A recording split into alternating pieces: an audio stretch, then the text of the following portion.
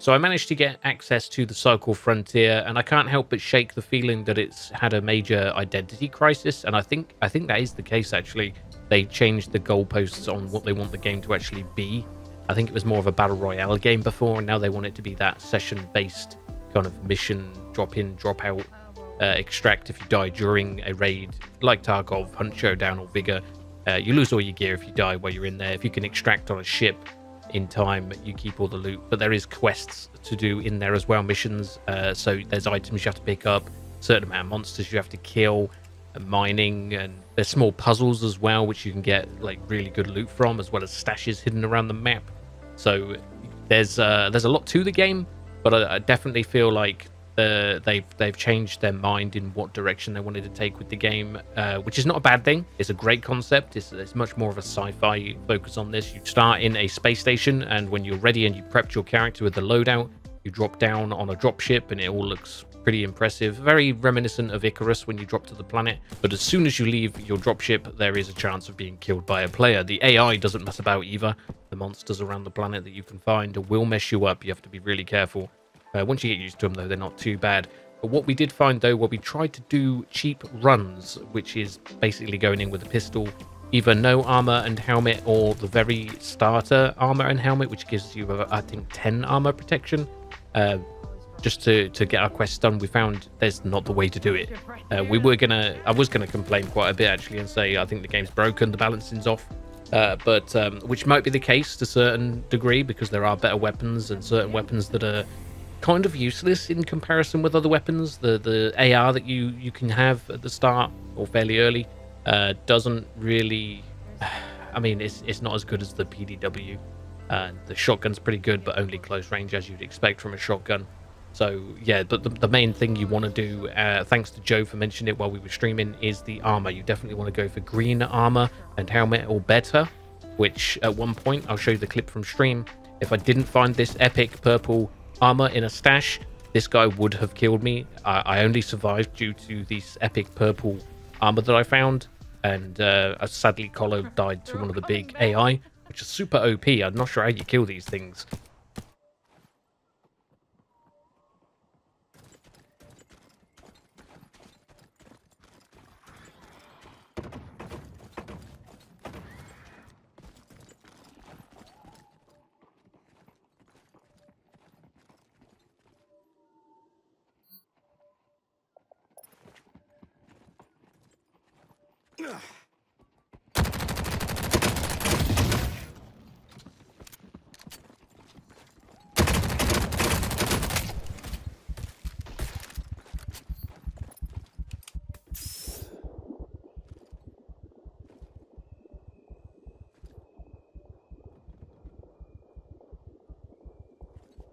That purple armor saved my life there. So it's in closed beta at the moment. Of, of course, they're, they're going to fix things. They're going to tweak things. Uh, I do love the concept, the more sci-fi based drop down and uh, prospect a planet, get the missions done, get back to the space station, hand in your missions with three factions, which you can unlock their specific weapons for each faction and different quests. So you got to go down and mine for minerals, uh, ores, uh, go down to the buildings down there, the old abandoned facilities, and get metals and computer components and things like that, which are also used to craft. So you can craft better armor.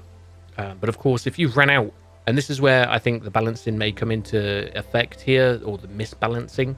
The if you run out of all of your armors and things like that, and you have nothing to craft, you're going to have to go to planet to gather the things to craft. And if you run out of credits, so you can't buy, you're going to be going to planet with a pistol maybe and or just a knife and no armor or the basic armor, you're going to be really under equipped to most of the players down there.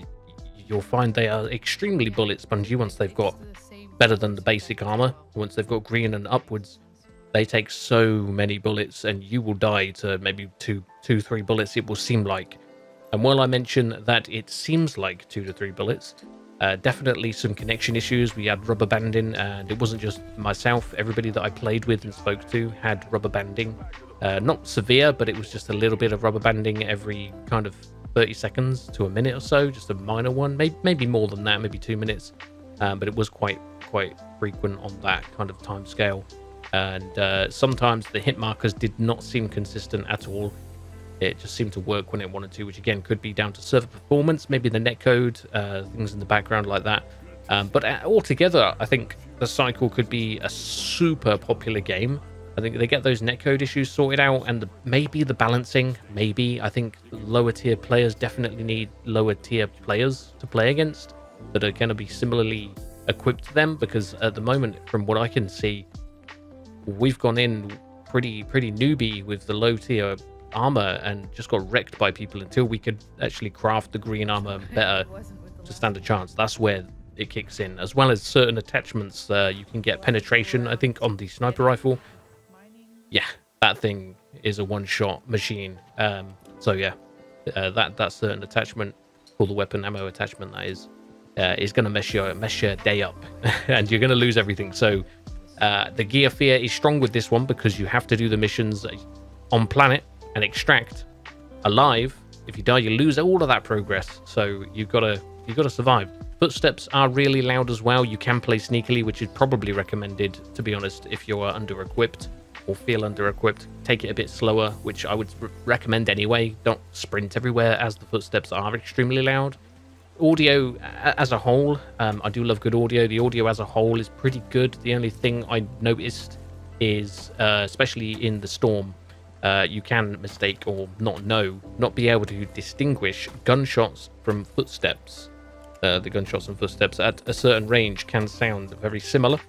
So maybe a little tweak on that, so you definitely know whether it's footsteps or gunshots. Uh, but the storm effects, uh, sound effects as a whole, other than that, uh, pretty decent uh, for what it is. And uh, visuals, of course, uh, this is something I mentioned. It looks like something that was made in Core. I don't know. Somebody probably say, "Yeah, it was made in Core," and then they made it a single player game. That's what it looks like. It's very Fortnite, Unreal Engine made in Unreal Engine's core game maker thing. Uh, could be.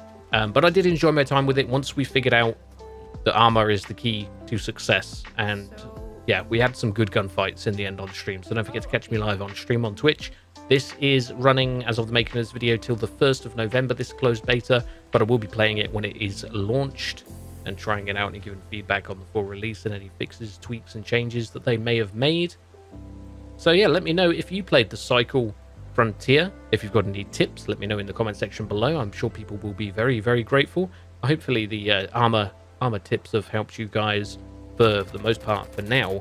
Uh, we don't know if there's there'll be balancing made to it in the future regarding the weapons and armor because certain weapons, like I've said, the AR, you might as well just run in with the PDW. Make sure you've got green plus armor, and uh, you, you're going to be be able to stand up to a good gunfight against other players. You're not going to get one shot all the time and hopefully be able to extract from planet with those missions more often because it can get frustrating on the 10th time of attempting the same mission and dying. Oh my god, trust me, we've had that. Anyway, don't forget to hit that like button or dislike if you enjoy the content I create and subscribe. It really, really does help the channel out a lot, guys. I know I've deviated from DayZ a bit. I'm enjoying other games. And uh, for those that are stuck by me, I really, really do appreciate it. Um, I can't, words can't say how much it, it means to me and uh, I'm just enjoying other games. That's all it is. Um, I'll, I'll, probably go back to DayZ at some point, but right now I'm enjoying loads of loads of different stuff. I hope you enjoy the videos. I love you all, and I'll see you peeps next time.